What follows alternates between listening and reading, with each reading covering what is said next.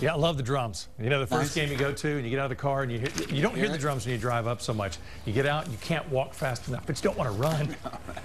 you look silly.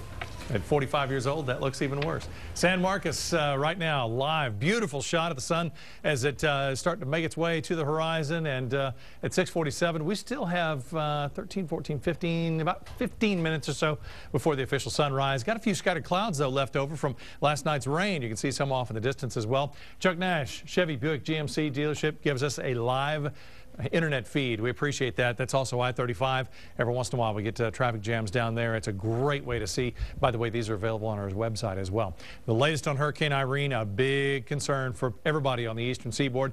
Really, Florida not expecting as much of it, but watch what happens. Category 3, Category 4, and then it's going to make its way up the eastern seaboard, hitting uh, Cape Hatteras, and also, and the path goes right through New York City. They could have a tropical storm in New York City. Crazy.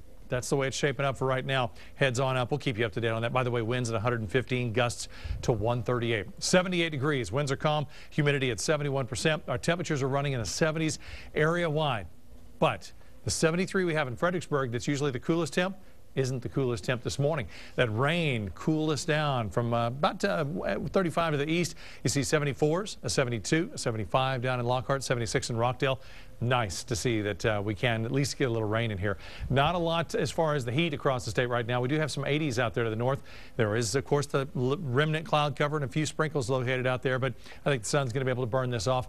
I wouldn't rule out the rain but I will not give you a rain chance that you can bet on or count on.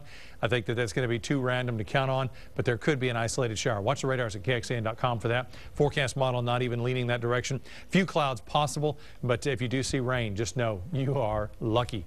105 for the high today. Tonight, temperatures in the upper 70s. Seven-day forecast again, very hot. I want you to notice this though. 105 today, 106 tomorrow, 106 on Saturday. ERCOT urging you, uh, really, we need to desperately conserve electricity because our temperatures could even get hotter into the weekend. 107 is what I have for Sunday. Weather Service has it at 108.